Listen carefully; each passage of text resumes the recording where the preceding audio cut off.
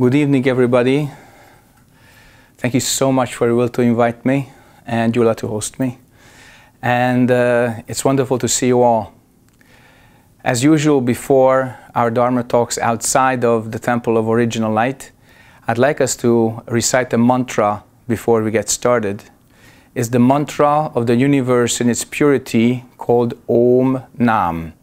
And uh, let us have seven repetitions of this wonderful mantra together. Om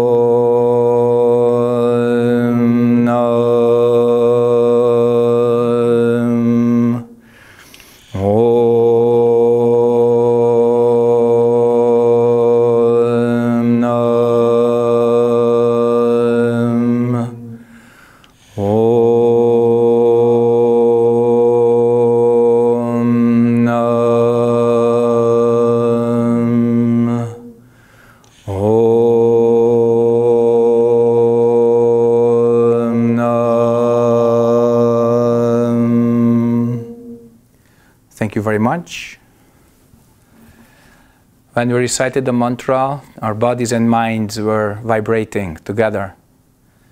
We were not thinking, or not so much thinking as usual. When you think, your mind, my mind, everybody's mind are separate. When you cut off thinking and you return to this moment, then your mind, my mind, everybody's mind become one. When we meditate, we can attain that.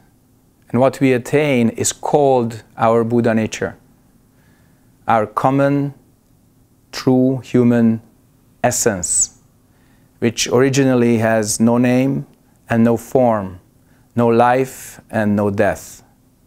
It is clear like space, clear like a mirror. And in this mirror, we can perceive truth. The sky is blue, the trees are green, there are cars passing by on the outside. And when it comes to action, we can also perform correct action. When somebody is hungry, we give them food. Somebody is thirsty, we give that person drink. So the core of Zen practice is substance. And with the help of this substance, we can perceive the world as we are and other human beings and ourselves as we truly are.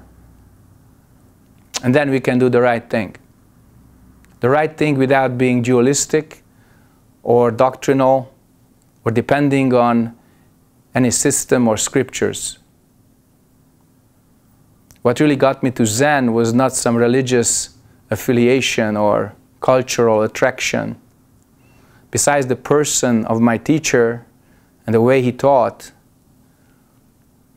the four principles of Zen are really primary for me. And wherever I see the operation of these four principles, then I really feel home. I really feel that we have the seeds of the Dharma flourishing. And the first of these is not depending on the scriptures.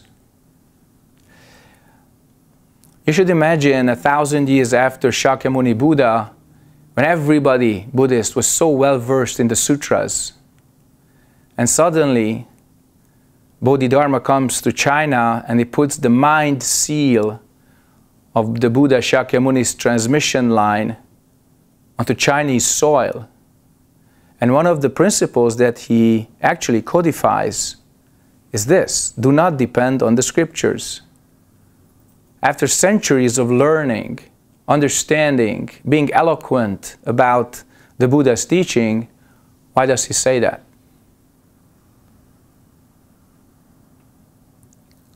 The second is directly pointing to human mind. over the centuries, there were so many expedient means, systems, symbols, assets that they got between you and your practice. They were used as intermediaries, as expedient means. And then did away with all that. And less is more in this case, because you can directly approach your true nature. When we ask, What are you? we directly point to that, to our original mind. In the previous 1,000 years, there were many concepts and ideas about enlightenment.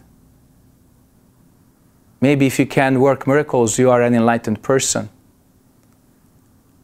Maybe if you live a very long life, you are an enlightened person. Maybe if your eyes are shining bright with some otherworldly air around you, you are enlightened. And it turns out that these features, also those included in the Diamond Sutra as the 32 distinguishing marks of the Buddha, they have no relevance to that. If you attain your true nature, your true self, you go beyond life and death, then you are enlightened. And the fourth is about transmitting this. It's transmission from mind to mind. By then, about the 6th century AD, Buddhism became so established, especially many ceremonies were developed, and it became very formal. But none of these ceremonies have any effect if there was no mind to mind connection between teacher and student, or the individual and the group. So, these four principles, if you see them anywhere in operation, that's where something live happens. That's where the Dharma flourishes. That's where you can really go beyond illusions and come back to reality as we are. Then we realize what our job is on this earth, why we live our lives, why we come back if we come back. Many times, Zen Master Seung Sahn was asked about the meaning of life. And he said, Originally, no meaning, no reason. And after you're born, you have no choice but to go through life and then leave, depart. But if you attain your true self, then big meaning, big reason, and big choice all appear. And this is not some empty promise. When you see how we live our lives and what it is that sees through your eyes and hears with your ears, feels with your heart, thinks with your mind. You can see cause and effect. You can see your direction. And if you use your clear mirror, you can change all that. Many of us believe that there's something in us that is immutable. We can't change that. We are subject to that. We have some destiny. Many people in the West use the word karma in the sense of destiny. So instead of cause and effect and the dynamic approach to life, we believe we are controlled by some external forces, whether heavenly or earthly, that we are always subject to the same things that we are afraid of. And when you practice meditation, you can let go of all these ideas, all these fears, these illusions and come back to this point, to this moment, right here and right now. When you hear this sound, there is no thinking. In this moment of no thinking, there is no you or me or us. Everything comes back to zero. And from there, you can see how your mind builds up everything, how your mind makes this universe for you, for us, for everyone. If you want to really understand the essence, how it works, then look at the Avatamsaka Sutra. The most important part of that is that if you want to understand the nature of this universe, then perceive it as created by mind alone. Now, what is that mind? I ask you. If you say you know it, it's a mistake. If you say you don't know it, also mistake. What can you say? Come to the interview room tomorrow. We'll find out. Okay? this introductory can go on for a long time, and I don't want to take your time from asking any, any questions that you may have. I am very new at this, and I have tried several different Zen meditation practices, counting my breath or um, saying a uh, loving kindness mantra, several different things. And um, I'm just wondering which method of meditation you use the most, that you find the most beneficial for your practice. Let me tell you a story about two farmers in Montana. You know, the prairie, the water is very scarce and it's very highly praised as a resource. So the young farmer gets a couple of thousand of acres of land, and the old farmer is watching from the neighborhood. And before long, the young farmer pays a visit to the old farmer and says, Jim, I'm at a loss. You have a wonderful harvest here. I barely find any water, though I drilled several wells. And Jim says, Well, how deep did you drill? He says, Well, some wells 60 feet, some wells 80 feet, 50, various locations. So, how many wells did you drill? Well, about five, six. I have good news and bad news, says the old farmer. Which one do you want first? Good news first. Now, the good news is there is water all around here underneath. So, what's the bad news? It's at 110 feet.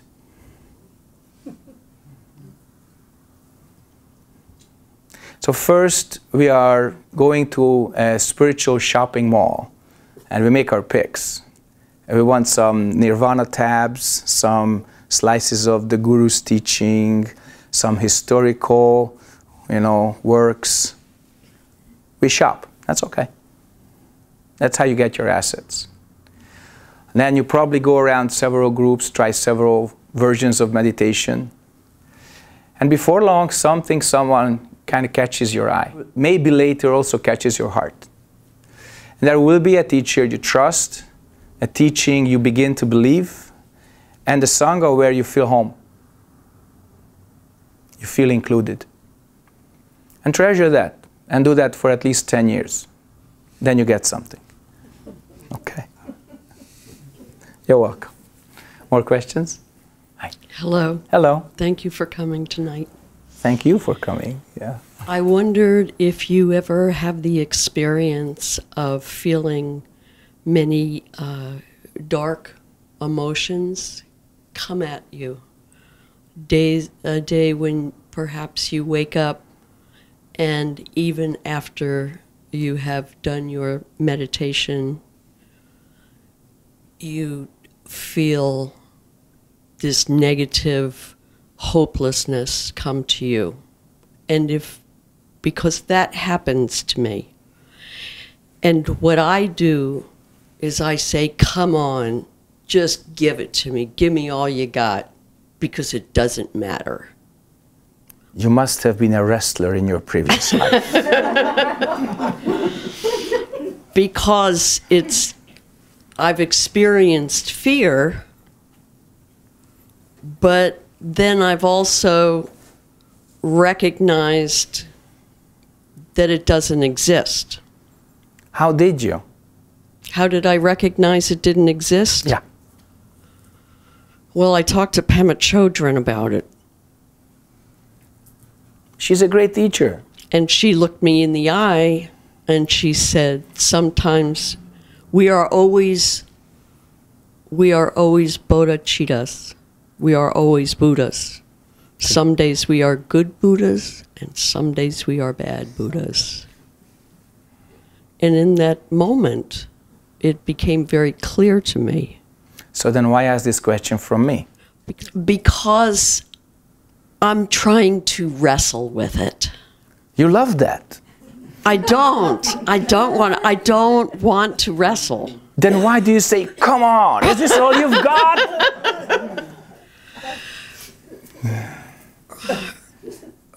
I don't know. I think I'm angry that they keep coming. Anger I is one of the worst so I want- possible I want to bully them. You want to bully them? I'm just trying to get them to go away. But if you're angry and if you want to bully them, they will keep coming. I know. The Dhammapada is one of the best teachings ever recorded. You know, it's very succinct, four liners. And in that, the Buddha says, if this exists, that also exists. If this ceases to exist, that also ceases to exist. As long as you want to bully them, you want to win, you say, come on, they will keep coming because you are the magnet. Whether a positive magnet, you feel good about it, or a negative magnet, you feel terrible about it. No matter how you set up the polarities, the other part, the missing part, will be coming. So the moment you let go of this anger and this wish to bully, they will go away. We say, you cannot hit empty space. The moment you have a surface, that can be hit. You have an eye, that can suffer. So don't make I. Don't make these emotions because they will attract more. Yes. And that's why we meditate. When we focus on our Tantian or Tanjon in Korean, then we focus at a point where there is no mind, no differentiation, no entropy, no multiplication. Because when your energy moves up, it becomes emotion one, emotion two, speech, thoughts, sensations, okay? And that's how we live our lives. The fuel for that is chi, or in Sanskrit, prana. When it goes lower than your tantian, you make kids. That's the physical differentiation. That's how life works on this earth. But if you really want, want to come back to the mind, which is before anger, before bullying, before negative emotions, then come back to the Tantian. That means you come back to the moment and to this mind, which is clear like space, clear like a mirror. And that has nothing in it, Okay. but reflects everything. Okay. Okay? Then you're free. Okay. Okay? Yes. Good. Thank you. once in a while, like for a second or two or a half a second, I'm really not. So I want to know how I can work with that nanosecond and make it one second, three seconds, 10 seconds before I bring my crap into it and like lose the moment. What do you see now? Now, Yeah. you. No. You is something you think. Your thinking makes you. Do you see Y O U displayed on a board here? Or here? No. That's what your mind makes. What do you see?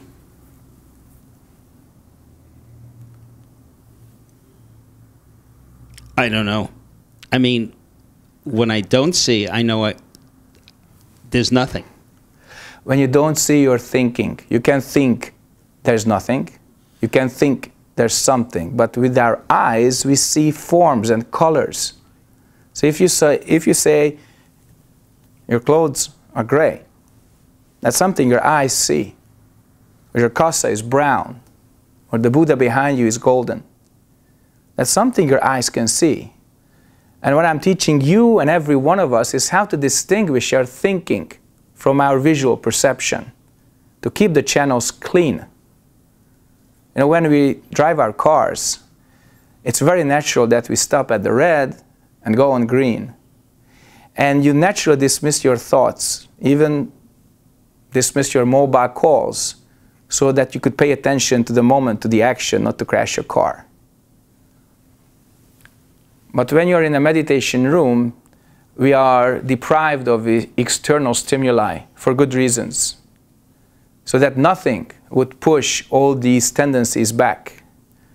And then you can see that there's not a single moment when your mind is inactive.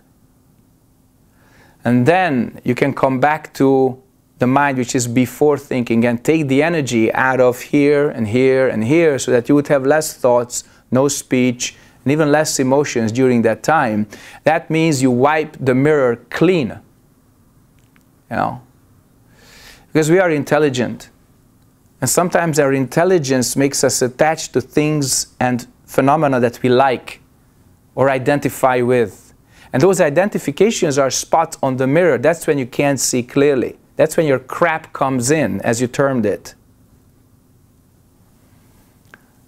The word for meditation in Japanese means heating up the heart in English. So imagine a surface which is very cold and you drop a water on it and becomes a layer of ice on it right away. That's when the mind is very cold and identifies with everything that you like or dislike. The identification means very low energy level. So when you heat up the heart and you meditate, you start to reflect. And this surface, you know, as the water bounces on it, immediately makes a puff of steam. And that steam pff, just goes away. And if the surface becomes really, really hot, then the radiation becomes so intense that this drop of water doesn't even reach the surface. It becomes steam right away. So if you reflect and your mind is steady, it becomes very, very strong and clear then you perceive the shocks, you perceive the crises, but you're not immobilized by them. You're not frozen by them. That means your reflection stops you from any dualistic reaction, stops you from being identified with that kind of karma. And that's one of the primary uses of meditation, why we do that. It brings you the mind quality that can help you deal with all these things that we are dealing with as human beings with good and bad, gain and loss, etc., etc. So please don't check your mind. Don't count the nanoseconds.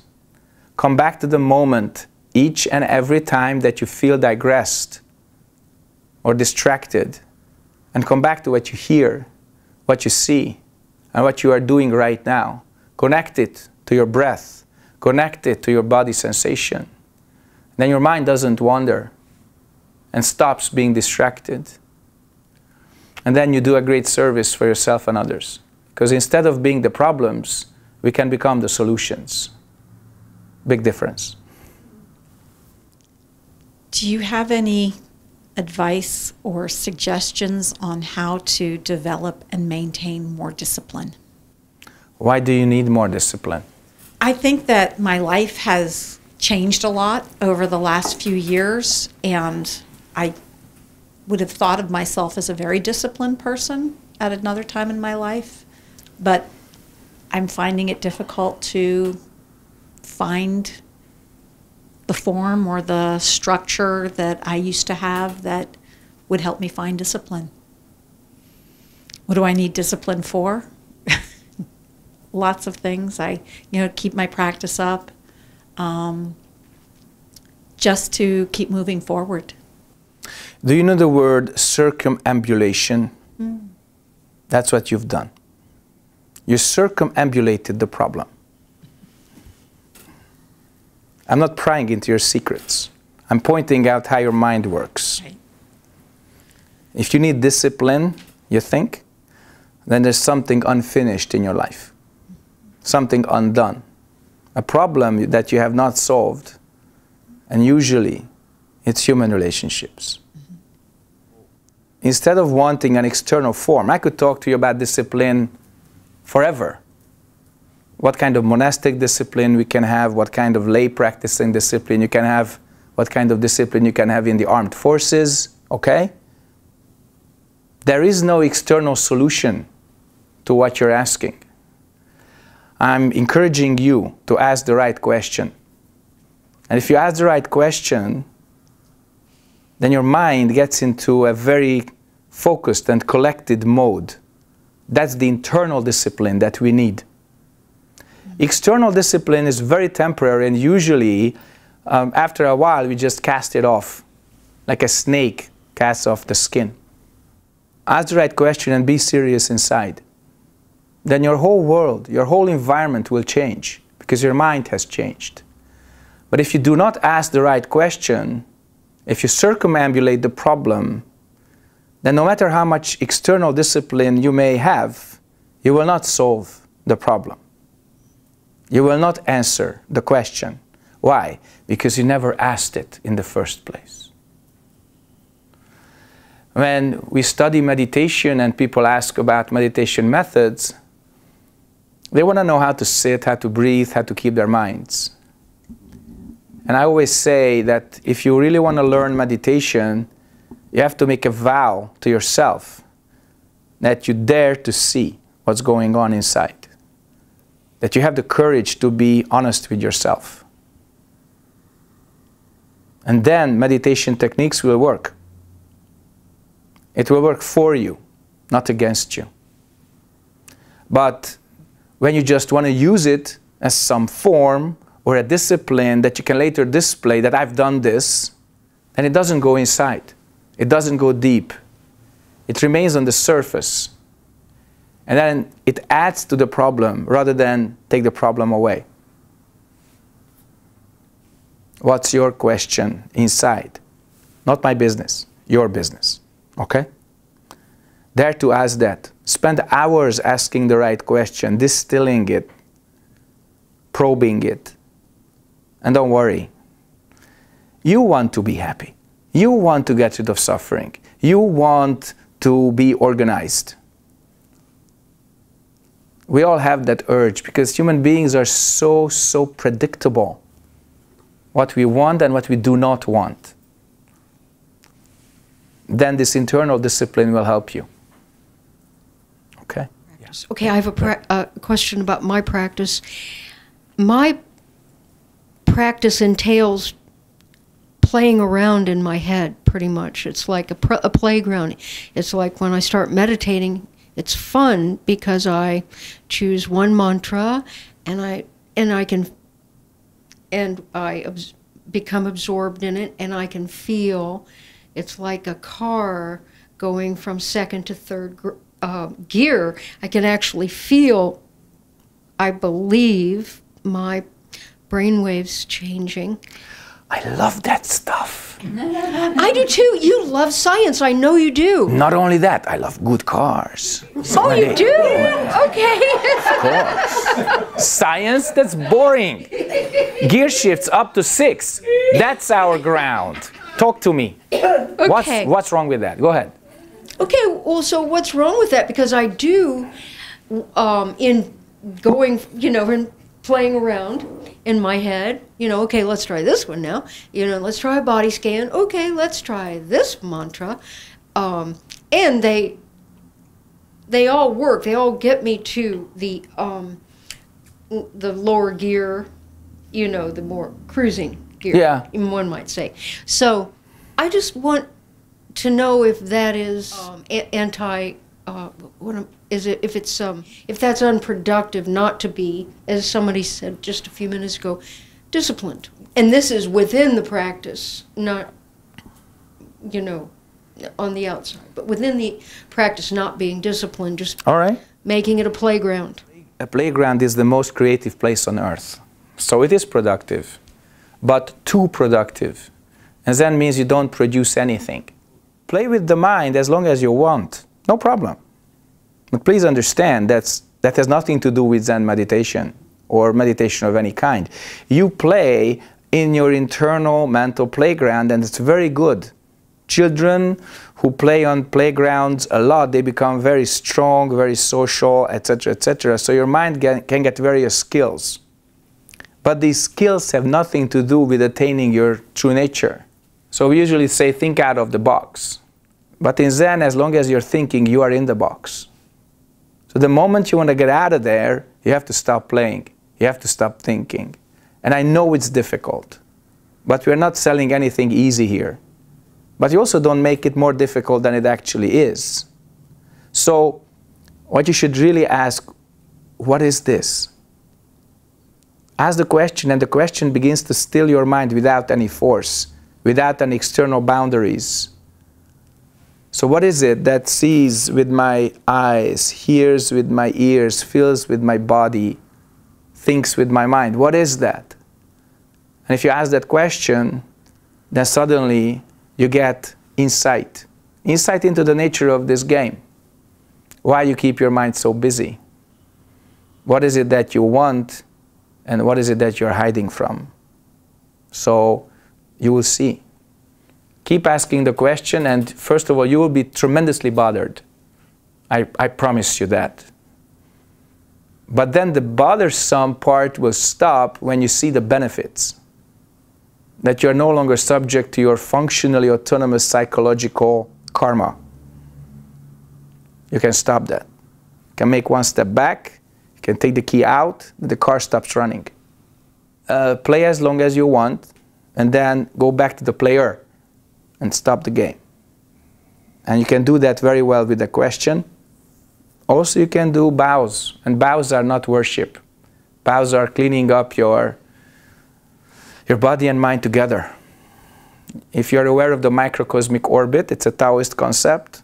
That's how our chi operates in the upper body. The microcosmic orbit begins to flow the, to the right direction when you bow. That's something they don't teach you in the Orient. You have to figure it out. Because you do the right thing with body and mind, body becomes flexible, mind becomes clear and flexible and stronger. Can you just clarify the bowing thing? Because I've gone to several zendos where we began with three bows. Mm-hmm. What type of a practice with bowing? There has to be more bowing, lots of bowing, intensity. how to depending on how, ma- how many bows you do, uh, you will feel the effect. The basic three bows is for the Buddha, the Dharma, and the Sangha. You pay respects to the teacher's lineage, not just to one, from Shakyamuni to the current guy, you know, next door, and to the Dharma, the teaching. This is pretty obvious, and the Sangha, the community where you practice. But if you do like 108 bows, traditionally this meant that you bow to the 108 Buddhas and Bodhisattvas that relieve the 108 kinds of major suffering that the Buddha himself identified. 108 bows is really the kind of uh, soup of the day for any Mahayana Buddhist. It's, it's really a good start. And then it, you really let go of any ideas and you're just at the moment, watching yourself as you bow and you breathe. You go down, you breathe out, you come up, you breathe in, not too fast, not too slow, not too ceremoniously, and also this is not gymnastics. So you find the middle way. Protect your knees. It's important. Even if you have a very good body, if you don't protect your knees for, for 20 years, they wear out. It has a lot of benefits. A lot of benefits. And it's not worship, it's really putting yourself to the right place in the universe. That means your own person, your, your own ego goes down, and your Buddha nature, the Buddha himself or herself, for that matter, goes above that. And that's a very important position. It's not being humiliated, it's just being deferential. Okay? I have a kind of personal question in a way. I'm, I'm would like to you to talk a little bit about your temple and what the significance of it is, Mhm. and um, just your process of getting to it. In 2003, I made a decision not to go back to Asia. I really wanted to, but I didn't see the use. And uh, until then, we had the Zen Center, which was like an apartment in Budapest, downtown. And I really didn't see myself living there too many years, you know, longer. So we started to look for land in 2003 September using a very kind of detailed map of the Pilis Mountains north of Budapest. I was looking for good spots using the principles of Asian geomancy, feng shui, if you know that word. And uh, feng is actually, or pung in Korean, that's the wind, it's the shape of the mountain. And shui or su uh, is water, is the shape of the valley. So the layout of mountain and water, where the lakes are, where the water streams are, where the peaks and the ridges are, they are pretty good guides uh, to choosing the right spot for a temple. We had been looking for a year before we found it. And in 2004, September, suddenly we came out of a place where we found something unsuitable. And on the way out, something really got me. I stopped the car. I go into the center of this space where we have now. And it, there was just this joy beyond description. It was not just the mountain layout, it was, it was something else. But that moment keeps me going ever since. And uh, I just knew that this had to be it. And in 2005, we started to buy land. In 2006, uh, we started to build. In 2010, we opened the first traditional Zen hall. And uh, after some legal setbacks that we cleared up in seven years, we started to build another building this year, and we finished it this year. That's the office building, also in a traditional form, because we pay our respects to our tradition in many ways. And one is to demonstrate the excellence of this mind by putting it into the correct architectural form. Uh, next year, we want to build the big Zen hall because we grew out this, the current one. You'll see some of the drawings if you're interested in this uh, binder because uh, the Zen hall is the heart of the temple, the Zen temple. If it's a ceremony temple, then the Buddha hall is the heart of it. But meditation is our bread, our daily bread that we want to give and consume at the same time. This temple is serving everyone. We have many nations coming, and the moment somebody non Hungarian enters our halls, everything turns bilingual. All the major staff speaks English. At this note, I would like to cordially invite you to Hungary, to the Temple of Original Light, uh, to practice together. Don't think it's too far. It's a 10 hour flight to Europe. That's it. We, we really try to help people become clear. We say whether you are religious or not, it doesn't matter for, for us, whether you believe in God or not, or believe in gods like Hindus or not. It's immaterial. The difference is how you came in with what kind of consciousness and how you leave this temple. The difference between these two is our, our work. That you live with a more aware mind, with a more awakened heart, with more compassion and more wisdom. That's our job. And I'm happy to report that the system given us by Zen Master Seung Sahn as Kongan practice, meditation practice, it's, it's working. It's working very well. We just have to apply ourselves. We have to make some effort. I think this kind of cooperation helps us clear up the karma that I got to see as European group karma, which is super heavy.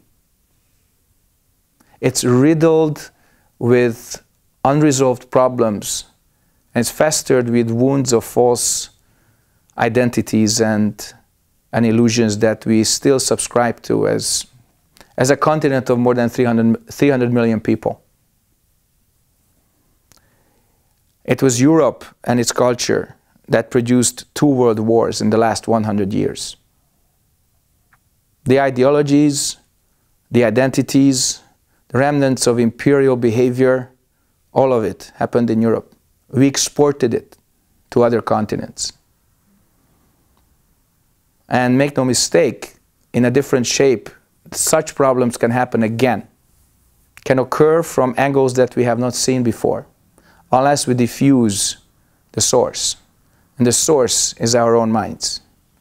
If our minds are clear, we don't make these terrible things happen. But if our, if our minds are not clear, we say we had no choice.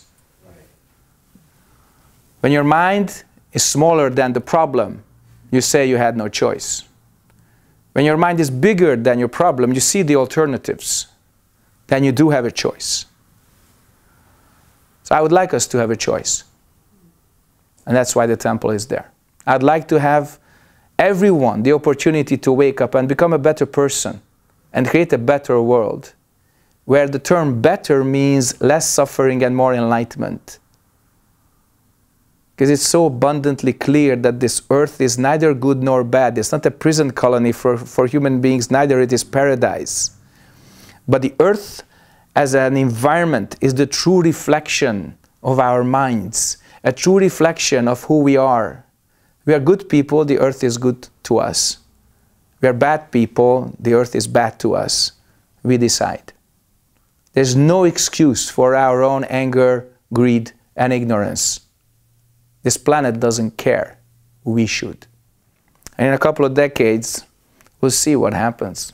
But one thing you should, you should know we'll, we will never stop building, practicing, and teaching. This is the tripod of our lives there practicing, teaching, and taking care of the temple, whether it's new construction or just harvesting vegetables.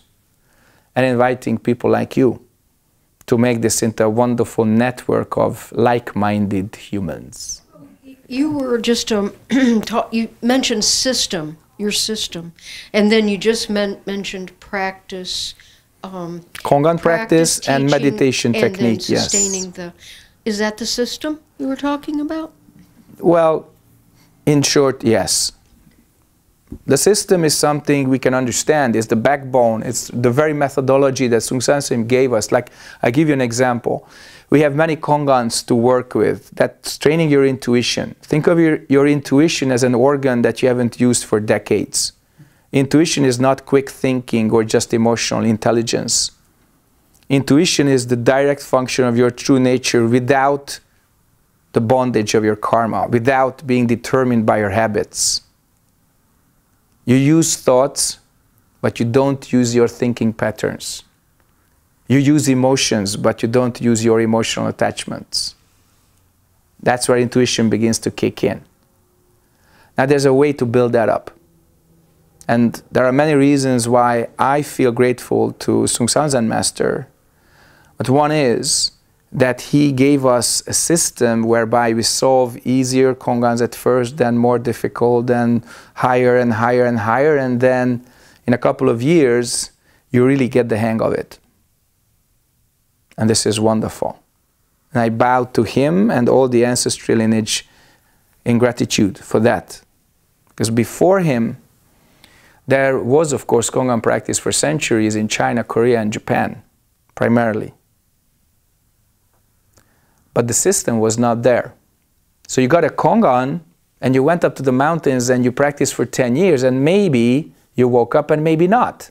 Some people got discouraged, they dropped it, and then they left the mountain because they thought themselves as an unenlightened person. Without this kind of approach, the systematic gradual approach, Kongans could not really be used as a means to attain clarity, relationship, and function correctly in this world. Meditation method is something that is not systematic in the Orient. As a monk, you don't really get it first. They throw you into the temple as an apprentice, later, later on as a novice, and after five, six years, you may sit in a Zen hall to meditate. And during those years, you may not even receive one sentence of meditation instructions. But when you get to the Zen hall, then everybody more experienced can teach you, not before. There are many reasons for that. They had to test you first. Do you have stamina? Do you have willpower? Can you really be patient? Etc. It's not like you enter a Zendo and give me the package, know, the whole package. The simple and clear meditation system that we use here, geared for you guys, also lay people, not just to monastics, is the second important part of uh, the Zen tradition. The third one is actually Sangha life, something that you cannot define with systems, but the Sangha also has rules, how we live together, how we relate to each other. It's just as important as the teaching itself or methods of meditation. Because if the Sangha cannot hold itself together, then the first two cannot be sustained. Because only we can do that as a community. There's no one else outside of the human mind that can perceive and understand Dharma on this earth as of this moment. So it's important that we have each other, that we have a teacher, that we have uh, something we can practice and share with each other. So these are the three very important areas that I consider as the, the foundations of Oriental tradition in the West. There are many other aspects, of course, but these three I consider pivotal. Thank you. Sometimes when I sit, I uh, fall asleep. and too? I'm yeah, everyone does. but Then I I'm not alone with that. no no. Great. Okay. Do you snore? I do No, I didn't get to that. in the zendo. But when you're sitting vertical, you snore? Well, I don't know if I'm vertical because I'm falling asleep. Sort of vertical. But you don't lie down, huh? No, no, no. Okay. So let's suppose you're vertical and you're like a rock and you can snore. How do you do that? That's, it, it, it's really difficult. Well, that's not my question. my question is I, I, I suspect, or I think I've experienced this lovely little place just before sleep. It's lovely, but you can't stay there. No, but I think it's as close as I ever get to like experiencing no mind. I, I, I don't know. It's it's kind of a cheat, you know, because I couldn't get there if I wasn't falling asleep. But I just have a suspicion that that is a sweet spot. It's a very nice place. I'm curious if you have any thoughts. I'm sure you've if you've fallen asleep, you've you've experienced it too. But what is that a hint of where it would Okay. be nice to be if, If one weren't falling asleep? Of course, if you talk to someone who sits retreats regularly, everybody has that experience, or they just want to hide it if they say they don't. Sure. So, when your thinking stops, there is a sweet spot. But the way your thinking stopped was actually getting drowsy and sleepy. Right. So you can't keep that mind. That's why I said you Right. cannot stay there. You overshoot and you fall. Right. And then you fall asleep. Yeah. So, how about doing this without feeling drowsy or sleepy? And you use a different technique. Sure. And that is coming back to your Tantien very, very slowly, patiently. And when you do that, then the technique to let go of this thinking is not falling asleep. Hmm. Just stop the thoughts by taking out the energy. Don't blow out the candle. Okay? Because when we fall asleep, our awareness is gone. That's why we can't sleep. If you are observant, then you can observe the last couple of seconds, and that's where the sweet spot appears. But you can't stay there. This clear mind, clear like space, clear like mirror, is attainable. Seung Sahn Sunim used to say, getting enlightenment very easy, keeping enlightenment very difficult. That's why we practice. Could you just say something about the mudra and Yeah. the fact where your hands are placed? Because it's very close to the dantian. It Is- is, is- on is the that- Tantien. Is that the best place to keep one's, to hold one's hands in the mudra to correspond to? Yeah, unless you drive or cook or operate your computer. but when you meditate, please Right. keep your hands in your, this beautiful Mahamudra, you know, resting on your thighs, tucked in, you know, to touch your lower belly. And then naturally it focuses on your Tantien. And it, and it should be like in the shape of a bird's nest. Mm-hmm. And then it, it's really focusing the energy of your whole upper body to that location. And remember, that's the point of no thinking. That's the point of really connecting to the universe with undifferentiated mind or no mind. Okay? That's why we do that. Thank you. I struggle with language sometimes. Um, You too? Me too. mhm, I know, getting, uh, Is the words, right? well, Or the sentences? it's the it's the not going into thinking with the i mean and then i love language too Uh, i'm, s- I'm uh, so into language but i'm just so i'm now asking about English is good. I mean, I love Intuition. English, isn't And it's, it's a great language. english is okay yeah Yeah. So, Um, what's your question? ah, intuition and language and you know i mean i, I the whole thing of the the, the connecting um, If you think I about language, you can't talk because your meta layers are stronger than your primary process. Primary process is so instinctive, especially when you speak your native tongue, that you don't think about the words you choose. It's spontaneous. So we have eight levels of consciousness eyes, ears, nose, tongue, body as touch, conceptual mind, distinctive mind, memory. That's eight.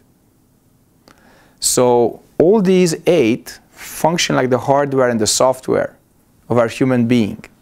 The hardware is the body, the software is the mind. Your true nature is not part of the eight. It's reflecting all the eight. That's the operator.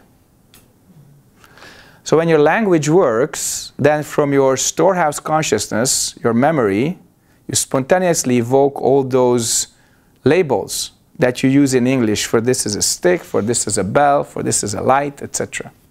You don't think about it because these self-referencing objects, we say self-referencing because we learned them. But this thing doesn't say I'm a bell. We say it. So these are compiled very quickly into sentences. The music is added as intonation. We distinguish between the words as good words and bad words. Also, our sixth consciousness analyzes that. Did I say it right? Then the five physical senses, they interface with the world. And we use language as hot, or oh, very soft, wonderful.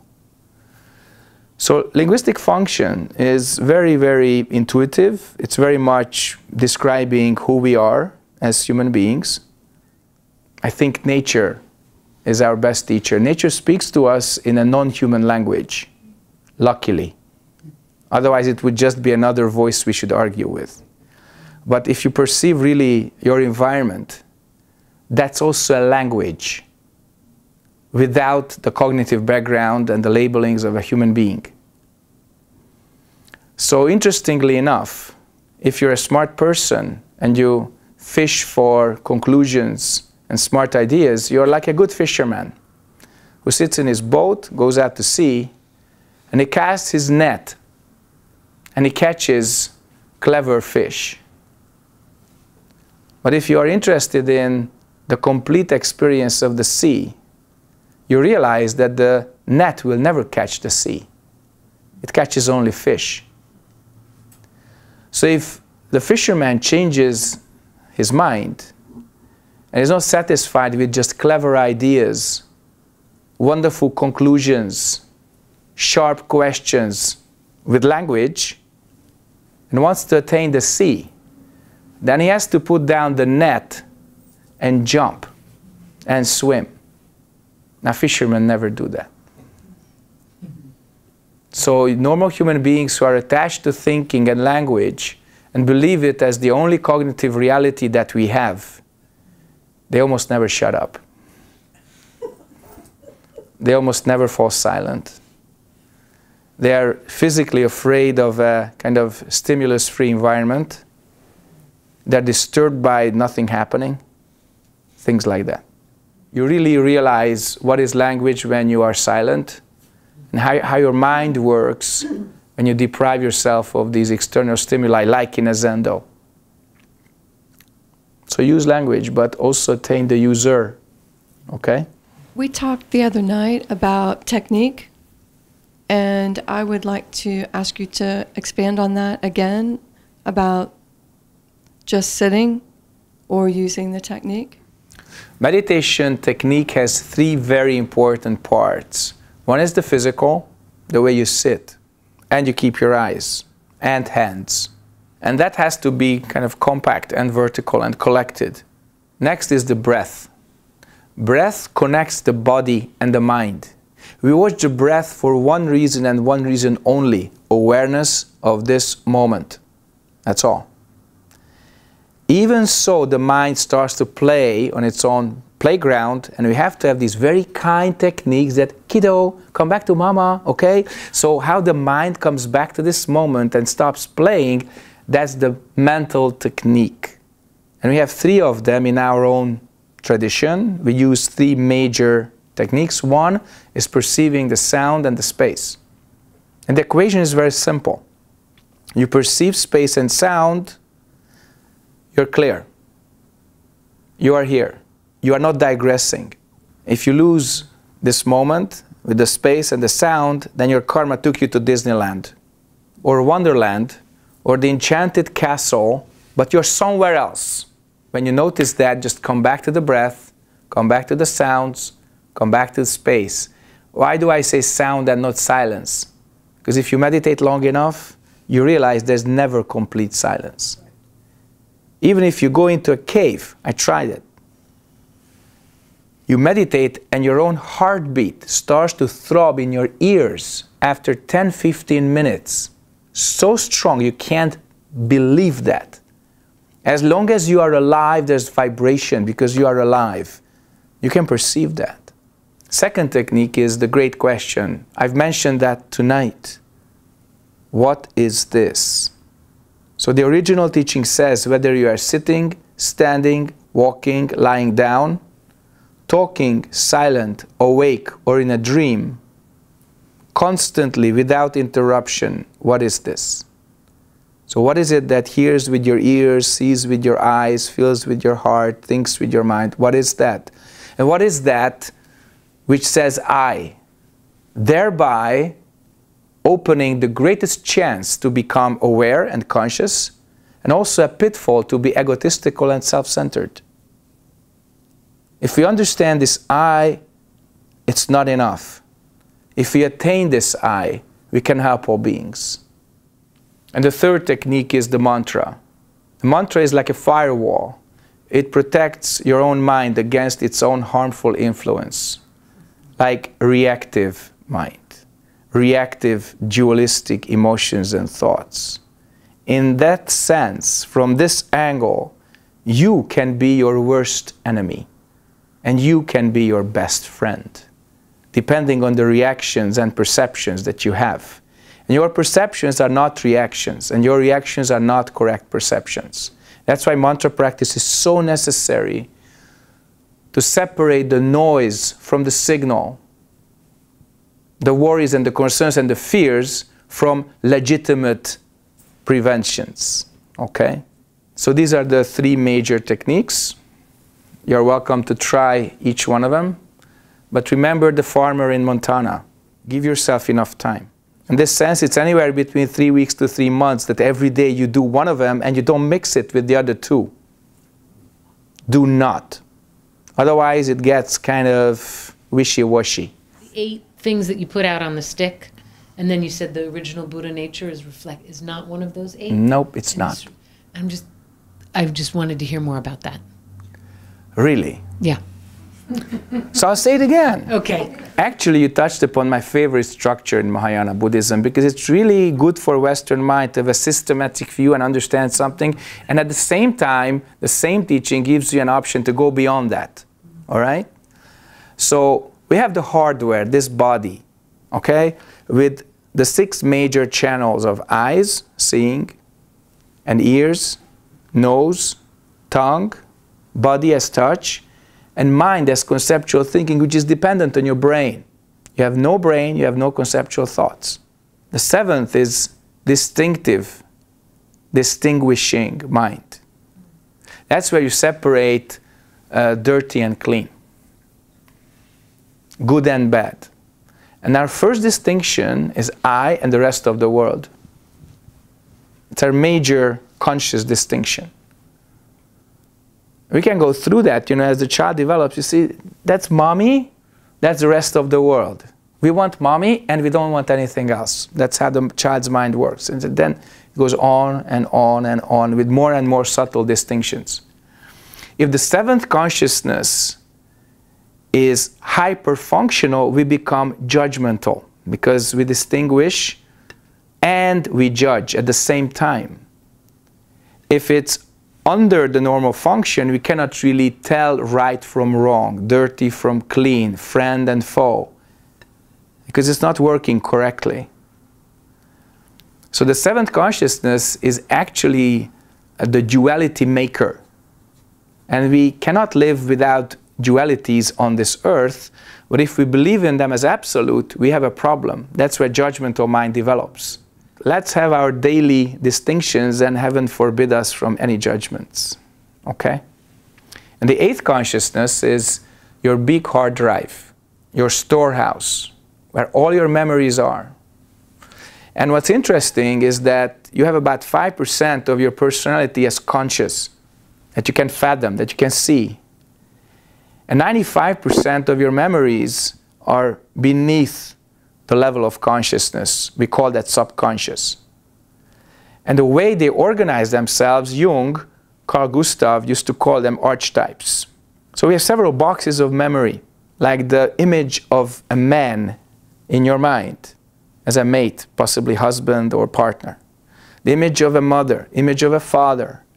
Because we had many, many, many lifetimes where we had, of course, mothers and fathers and spouses, and we had identification with these memories, and these identifications became the archetypes. And what's interesting is that the seventh consciousness actually controls them very much, controls the memory, what you can and want to remember, so that the other six are not disturbed, so that you could think freely, that you would not go back to the past too much, also not to the future too much. It's regulated by the seventh. And the eighth, the hard drive actually has everything that you have ever identified with positively or negatively. If you make good, you ID with it positively. You make bad, you ID with it negatively. So hopes and fears, positive and negative identities, they are all in your subconscious, whether you like it or not. And when you meditate, you switch off the sixth. You don't make any concepts. You switch off the seventh. You don't make any dis distinctions or judgments. And you let the eighth function by itself. That's how it gets cleaned out. We store so much of our traumas and so much of our past you know, karma in the eighth that it has to be cleaned out if you want your memory to work correctly. Sometimes we remember things that has nothing to do with this moment. And what we need in this moment just wouldn't come. So when your mind is clear, we have what we call intuitive memory that is really dependent on this situation, on this kind of relationship and the function that we have together. You remember what you need, and you don't remember what you don't need. It's very fluid. It goes without thinking. That's when your sixth, seventh, and eighth, they function correctly. When they separate, then we feel a little bit off. We feel sometimes a little bit out of place. We feel alienated because we are not really connected to the environment if the seventh or the eighth takes over. And if they peel off and they separate, then people can go crazy. You can see that. So the health of the hardware and the software together is up to the quality of the operator, how we operate these two together. So naturally, if you do meditation in the right way, you're more harmonious, you attain this oneness, you feel integrated. This integrated personality is the desired result. Okay? And without transcendental view, transcendental practice, it's not possible. So only the operator can really perceive the hardware and the software. And in this case, the operator can fix it. And uh, at this point, I really want to thank you for your wonderful attention and hope to uh, see you tomorrow and also next week for more Dharma events so that we could practice together, wake up, and save all beings from suffering. Thank you very much.